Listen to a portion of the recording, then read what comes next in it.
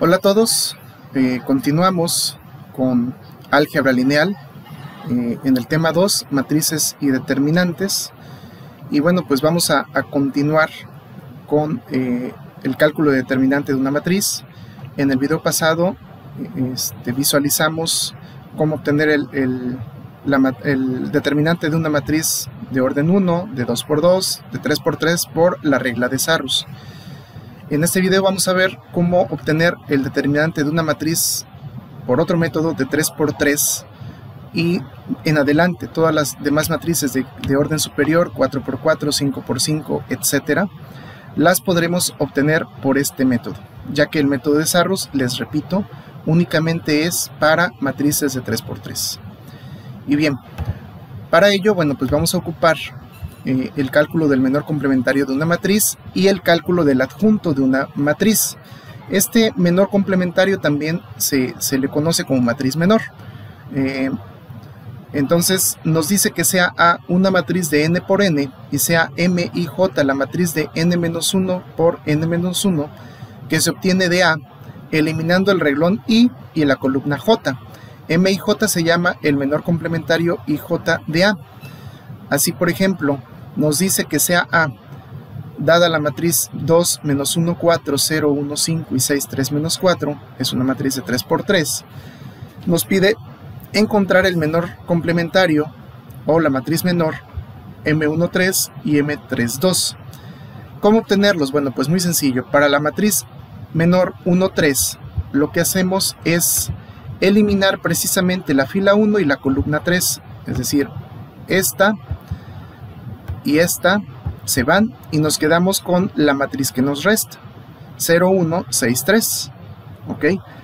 Para la matriz menor 3, 2, hacemos lo correspondiente y eliminamos entonces la fila 3 y la columna 2 y nos quedan los elementos 2, 4, 0 y 5 que es lo que tenemos acá ¿sí?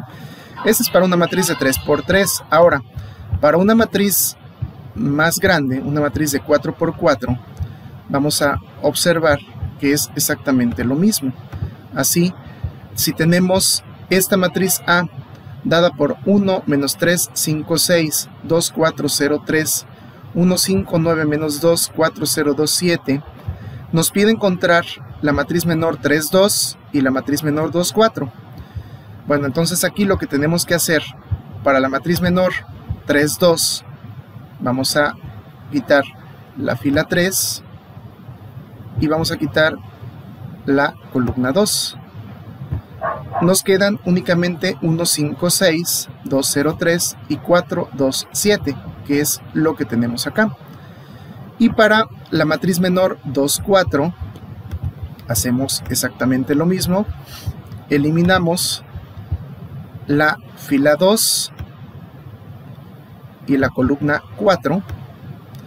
Y nos quedan los valores 1 menos 3, 5, 1, 5, 9 y 4, 0, 2, que son los que tenemos aquí abajo. ¿Sale? Entonces, esa es la forma, digamos, de obtener eh, las matrices menores, o los, en este caso, de una matriz mayor. Siempre se elimina la fila y la columna que se indica para obtener esa matriz menor. ¿Sale? Ahora, ¿por qué obtener la matriz menor primero? Porque en los adjuntos vamos a requerir obtener matrices menores y eh, para ello pues es necesario conocer de dónde se obtienen. Ahora, en el caso de el adjunto es también llamado cofactor.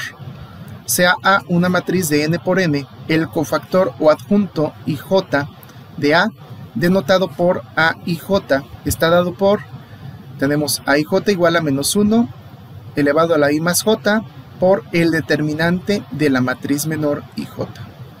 He ahí precisamente lo que estamos utilizando.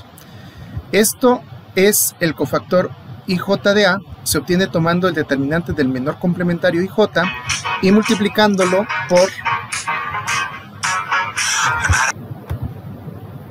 Esto es El cofactor IJ de A se obtiene tomando el determinante del menor complementario IJ y multiplicándolo por menos 1 elevado a la I más J.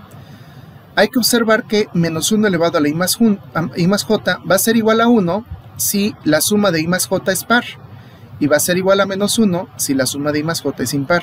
Entonces, eso es lo que tenemos que denotar. De ahí eh, que tenemos, eh, si, ustedes recuerdan, números positivos y números negativos, o en este caso que es más menos. Eh, ahora, el determinante de n por n nos dice que sea A una matriz de n por n, entonces el determinante de A, denotado por det A o A entre dos barras verticales, está dado por a11 por el adjunto 11 más A12 por el adjunto 12 más A13 por el adjunto 13 más así sucesivamente A1n por el adjunto 1n. Esto es igual a la sumatoria de k igual a 1 hasta n del elemento 1k por el adjunto 1k. ¿ok? La expresión anterior se llama expansión por cofactores y esa, es, esa expansión es la que vamos a obtener eh, para el determinante. Aquí, ojo, estamos basando, digamos que el determinante sobre la fila 1. Pero se puede hacer sobre la fila 2 o sobre la fila 3 o sobre la fila 4. No importa en este caso sobre qué fila, siempre y cuando lo hagamos sobre una sola fila. ¿sí? Y eso nos dará el determinante. Ahora, como ejemplo, este, vamos a observar, bueno, voy a copiar esto que tengo aquí. Como ejemplo, vamos a observar lo que tenemos acá. ¿sí? Nos pide calcular el determinante A, donde A es igual a 1352, 0 menos 134, 2196, 3248. ¿sí? Entonces, el determinante, bueno, pues recordando la fórmula anterior, nos dice que es el elemento 11 por el adjunto 11 más el elemento 12 por el adjunto 1,2 más el elemento 1,3 por el adjunto 1,3 más el elemento 1,4 por el adjunto 1,4. ¿Qué hacemos? Bien, empezamos. El elemento 1,1 es el 1, entonces aquí está el 1. Por el adjunto 1,1, entonces nos dice que A11 va a ser igual a menos 1 elevado a la 1 más 1 por la matriz menor 1,1. Entonces es menos 1 elevado a la 1 más 1 por la matriz menor 1, 1. Y aquí, si nosotros observamos, tapamos fila 1 y tapamos columna 1, obtenemos menos 1, 3, 4, 1, 9, 6, 2, 4, 8, que es lo que tenemos aquí, esta matriz menor. A esta matriz menor hay que sacarle el determinante, más adelantito. Ahora, para el siguiente elemento, nos dice que es el elemento 1, 2 por el adjunto 1, 2 en el elemento 1, 2, fila 1, columna 2. El elemento 1, 2 es el 3. Ahí está el 3. El adjunto 1, 2 sería menos 1 elevado a la 1 más 2, fila columna, por la matriz menor 1, 2, que sería 0, 3, 4, 2, 9, 6, 3, 4 y 8, tal como lo vemos acá. ¿Ok? Ahora, el siguiente nos dice que es el elemento 1, 3 por el adjunto 1, 3. El elemento 1, 3 es el 5. Y si nosotros tenemos el 5 multiplicado por menos 1 elevado a la 1 más 3 por la matriz menor 1, 3. Nos queda 0, menos 1, 4, 2, 1, 6, 3, 2 y 8, que es la matriz menor que tenemos acá. Ahora, el último elemento nos dice que es el elemento 1, 4, que aquí está representado por el 2, multiplicado por el adjunto 1, 4. Entonces tenemos el 2, que ya está aquí, multiplicado por menos 1, elevado a la 1 más 4, eh, por la matriz menor 1, 4, que es 0 menos 1, 3, 2, 1, 9, 3, 2, 4, que es lo que tenemos acá. ¿sí? Y bueno, pues ya obtuvimos, digamos, lo primero. Ahora, lo que sigue. Voy a eliminar s menos 1 elevado a un exponente. ¿Cómo? Bueno, pues muy sencillo. Yo tengo menos 1 elevado a la 1 más 1. 1 más 1 es un 2. El 2 es par, por lo tanto el resultado es 1. Entonces aquí es 1 por 1 y se va a quedar con 1. Luego aquí tenemos 3 que multiplica menos 1 elevado a la 1 más 2. 1 más 2 nos da igual a 3. 3 es impar. Por lo tanto, esto nos va a dar menos 1. ¿sí? Entonces, tenemos que este menos 1, eh, tenemos menos 1 por 3 nos va a dar menos 3. Luego tenemos a 5 multiplicado por menos 1 elevado a la 1 más 3. 1 más 3 es 4 y 4 es par, por lo tanto es 1. Y 1 por 5 nos da 5. Posteriormente tenemos 2 multiplicado por menos 1 elevado a la 1 más 4 que es elevado a la 5. 5 es impar, por lo tanto esto es un menos 1 y menos 1 por 2 nos da menos 2. ¿Sí? Ahora, ya que obtuvimos esos elementos, si observan tenemos positivo, negativo, positivo, negativo, lo que les comentaba hace un momento.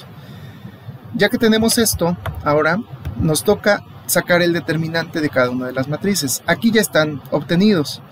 Eh, como es una matriz de 3x3, podemos hacerlo por regla de Sarrus. Tenemos eh, que es menos 1, 3, 4, 1, 9, 6, 2, 4 y 8.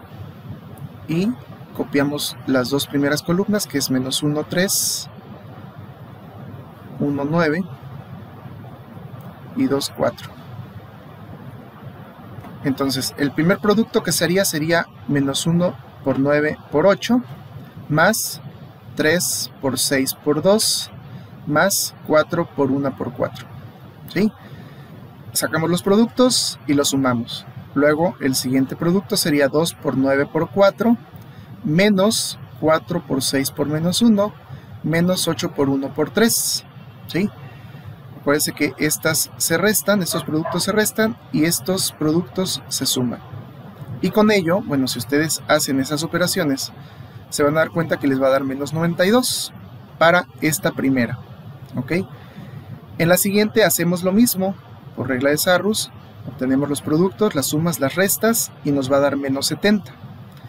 En el siguiente tenemos esta, igual por regla de Sarrus, obtenemos productos, sumamos, restamos y nos va a dar 2.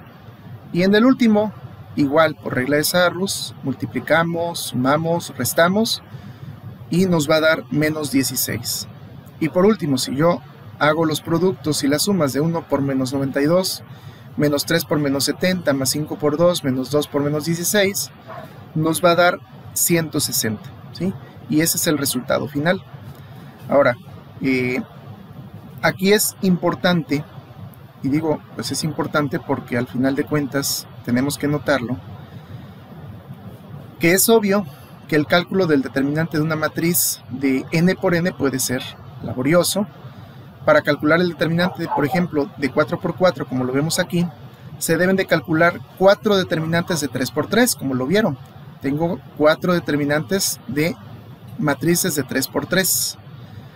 Para el calcular un determinante de una matriz de 5 por 5, se deben de calcular 5 determinantes de 4 por 4, lo que equivale también a calcular 20 determinantes de 3 por 3.